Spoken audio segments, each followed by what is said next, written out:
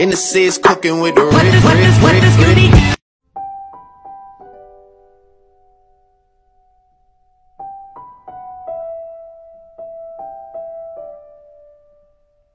Thank you.